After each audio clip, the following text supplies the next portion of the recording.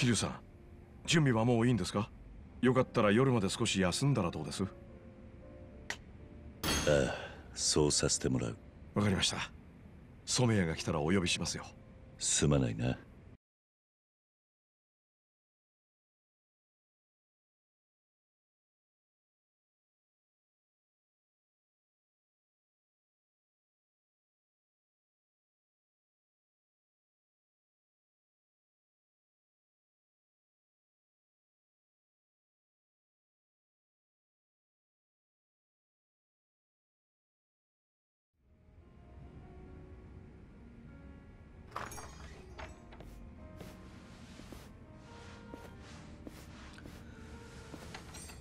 またお揃いでお出迎えいただいちゃって。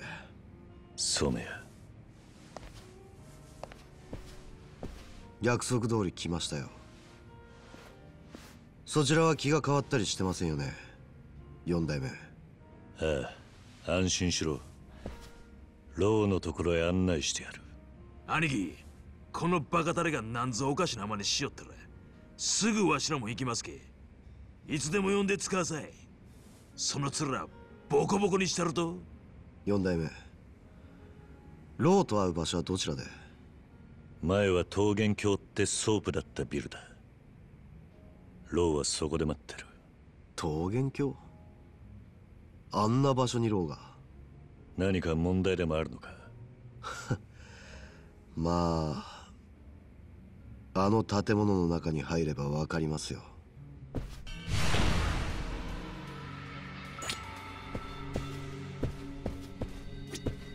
兄貴染谷に寝首かかねんよう気をつけてくださいや。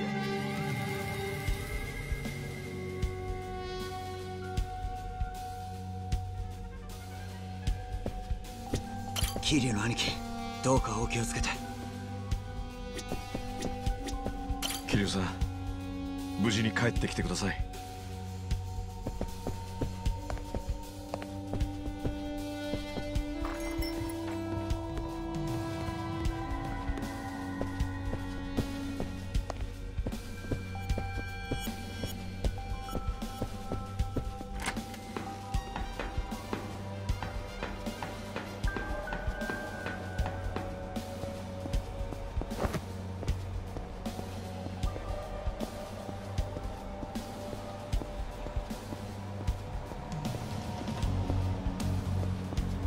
四代目はあのローに何て言われてまた会うことになったんで登場界の人間には関係ねえことだ。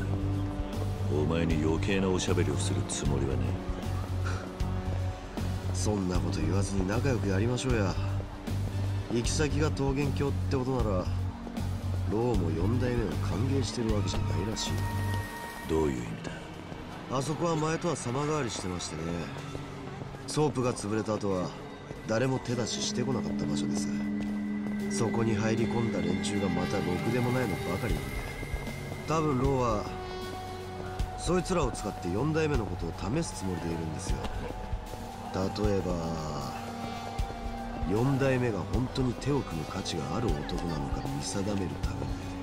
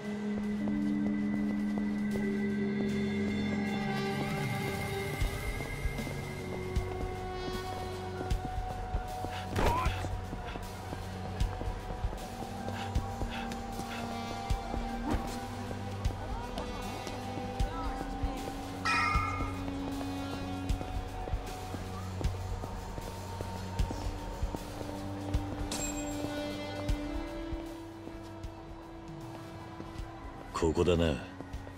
桃源郷。ローはもう俺が4代目と一緒にいることに気づいているはずです。約束と違うなんつってとんずらこかれなきゃいいんですけどね。どうだろうな。そうなりゃお前も俺もお互い無駄足だ。まあ入ってみてのお楽しみです。しかしこんな小汚ね場所で出迎えもなしってんじゃローもゲストへの礼儀ってもんが分かっちゃいませんね。それについちゃ同感だ。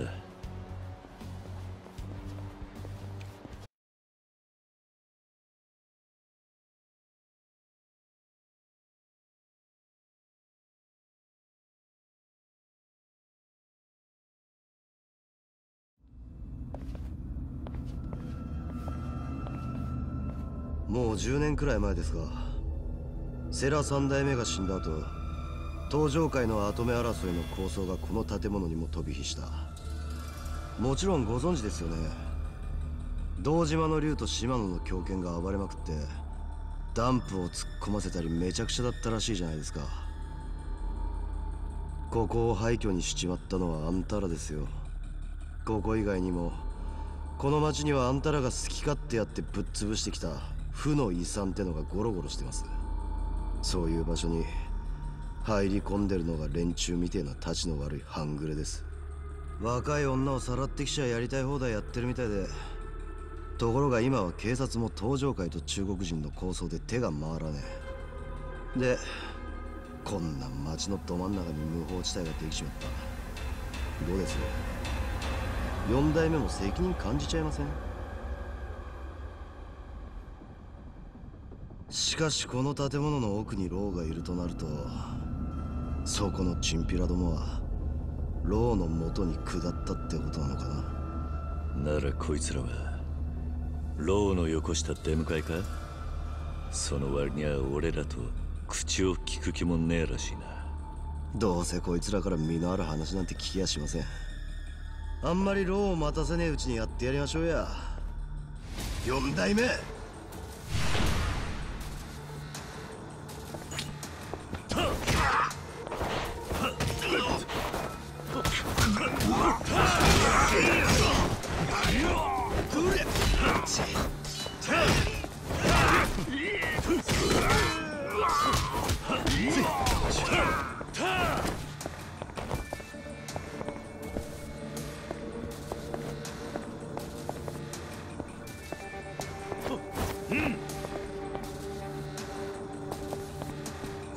通路がありますよ。こいつをどかしたら先に進めそうです。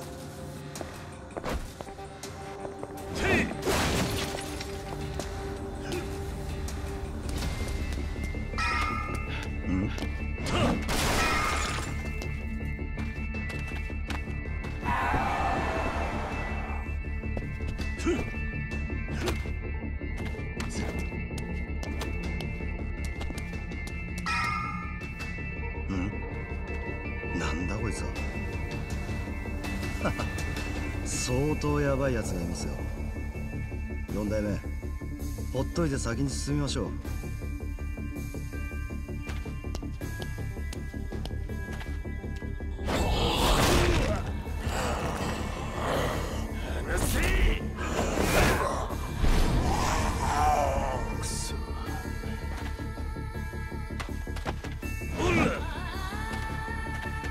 そこのはしごを使って上へ行きましょう。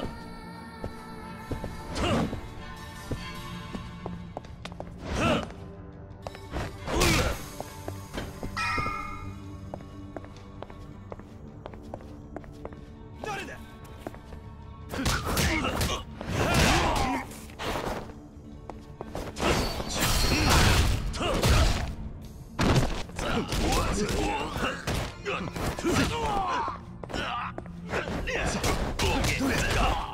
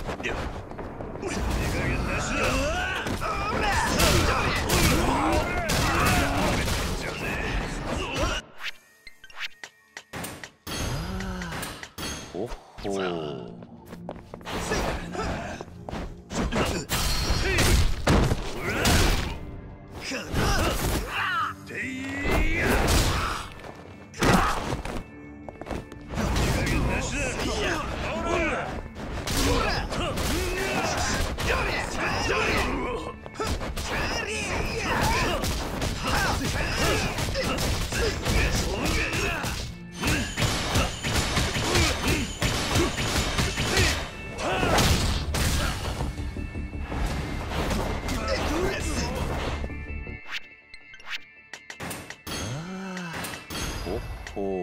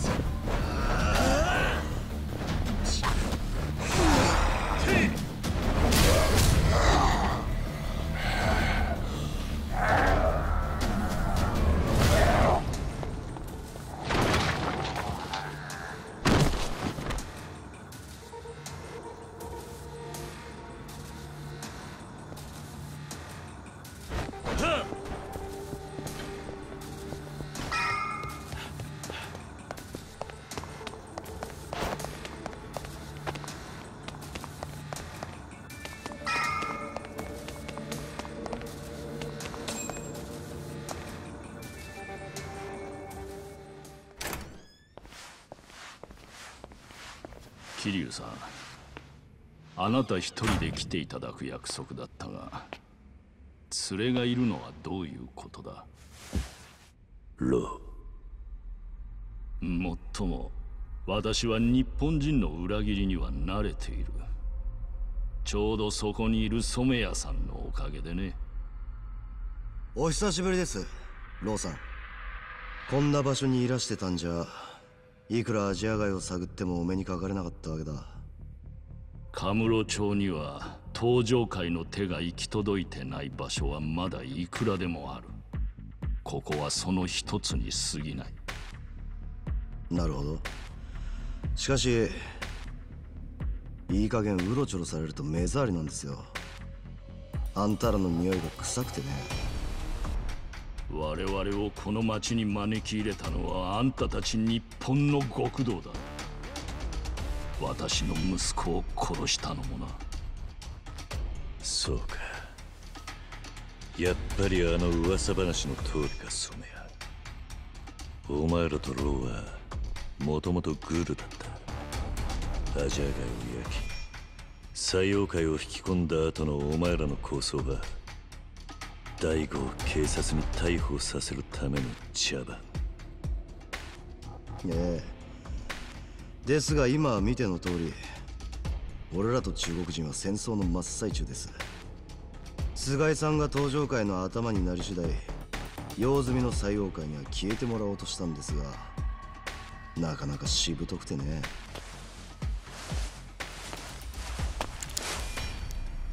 改めて言いますよ。四代目。俺と手を組んでください。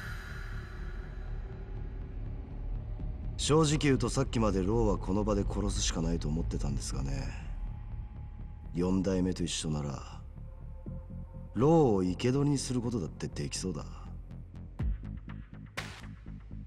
それに俺がここでローを殺すとなりゃ四代目は止めるでしょう。あんたはローから聞き出さなきゃならねえことがあるってんだから。でも俺と一緒に奴を生け捕りにすりゃ話は後でいくらでも聞き出せる。俺もローを殺しちまうより生け捕りにした方が後々採用界の連中を支配しやすい。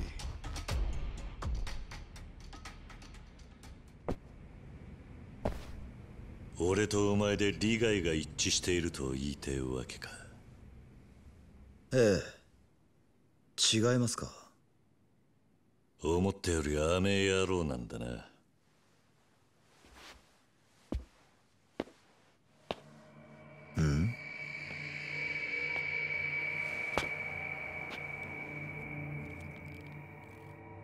例の噂によりゃお前らは大悟をはめて無所にぶち込んだんだったな。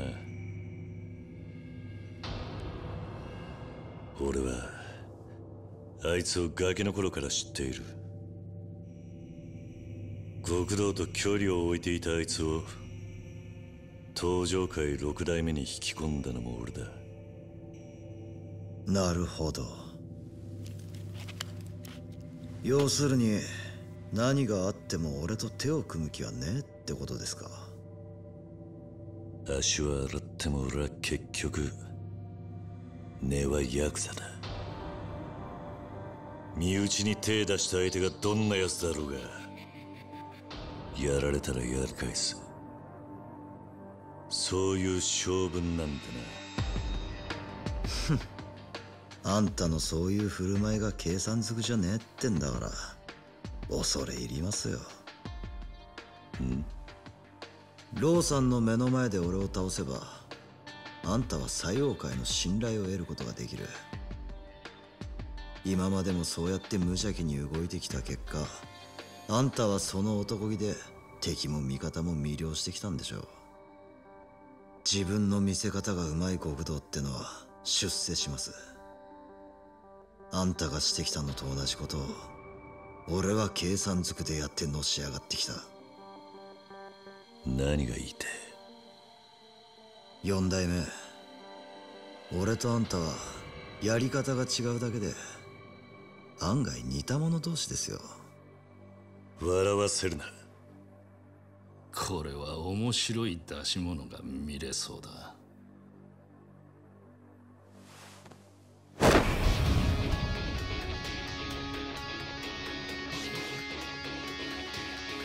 四代目が怠慢張ってくれるとなりゃこんな無粋なもんは使えませんね。今度は殺す気でやらせてもらいますよ。上等だ。来い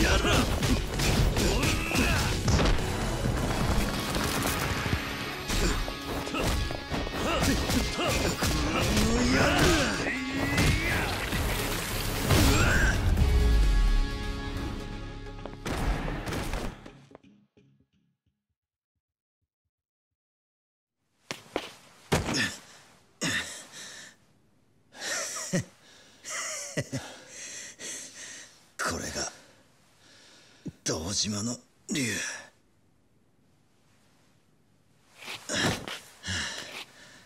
俺もここまでですね。今から戸をあがいたとこであんたらから逃げることもできねえ。さあどっちが俺をやるんです？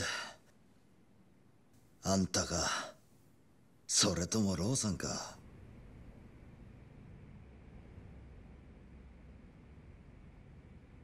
桐生さん。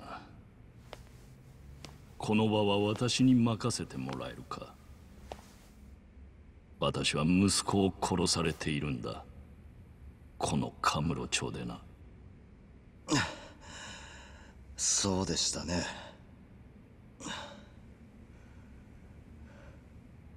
言い訳をしないんだな。だがやったのはお前ら登場界の極道ではない。私の息子を殺したのは陽明連合会の黒幕石見恒夫だ。岩見常雄クルス会長の息子が？あの男は登場界の頭を自分に都合よくすげ替えるために我々をカムロ町に引き込み道具にしたそして用が済むと私の命を狙い息子はその巻き添えになって死んだ。なんだと？この染谷も登場界の菅井もその後ろに岩見恒夫がついているからこそのチンピラに過ぎない。つまりこいつらは殺す値打ちもない連中だ。そんなこと言ってると後悔しますよ。ローさん。あんた自分を殺そうとする男を消しもせず野放しにする気ですか？たったそれだけの理由で殺しをしなきゃならんのなら私は寝る暇もなくなってしまう。私の命を狙う人間は星の数ほどいるんだからな。この場であんたを殺すことは簡単だがそれは登場界といううるさい蜂の巣をつつくようなものだ。他より少し大きいだけの蜂を一匹殺して私を狙う蜂を増やすのは馬鹿げている。俺がほんの少し大きいだけの蜂だと。そうだ。その上あんたは今殺されなかったことで私に大きな借りができるな借りだって。俺がそんな恩を感じる男じゃないと言ったら。それはそちらの自由だ。だがあんたを生かすことで私へのリスクは減りこそすれ。増えることはない。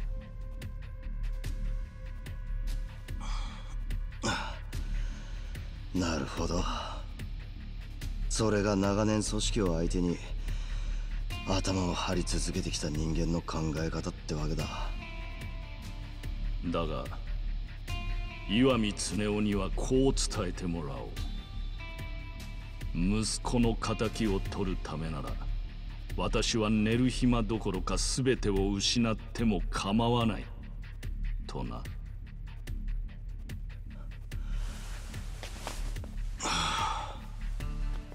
今日のところはいい勉強させてもらいましたよ。ローさん4代目。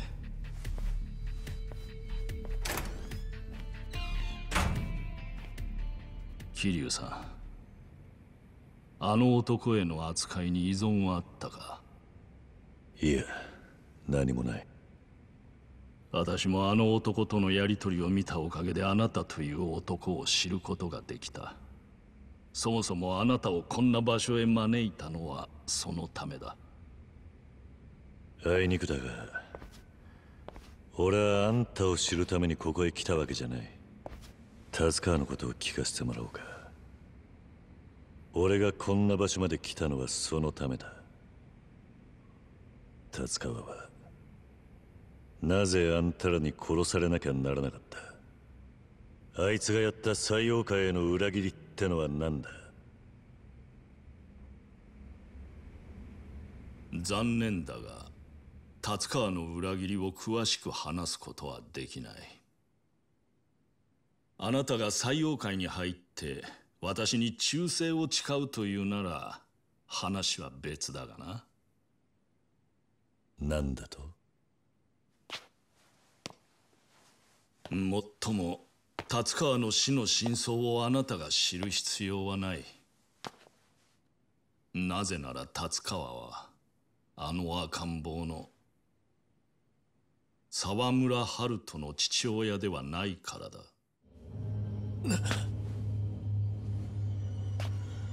あの子の本当の父親は他にいる。なんでだ？なんでお前にそんなことがわかる？まさかお前は遥かのことも知っているのか？私から今言えるのはカムロ町で構想している組織にとってあの赤ん坊が重要な価値を持っていること。そしてその価値を知る人間がますます増えているということだ。ハルトの価値ってのは何だ？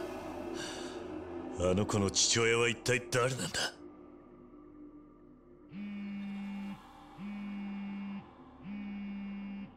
多分その電話には早く出た方がいい。あんたが思っている以上にあの赤ん坊の周りは切迫してきているぞ。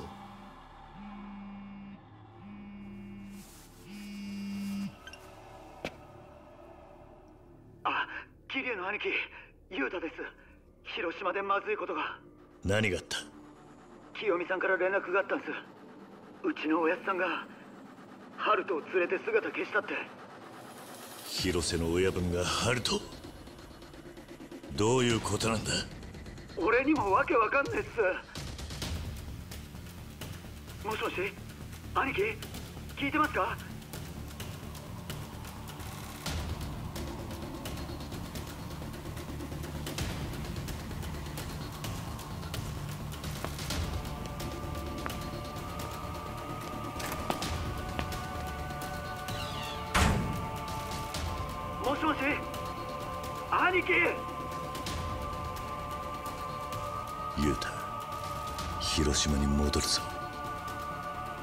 今すぐにだ。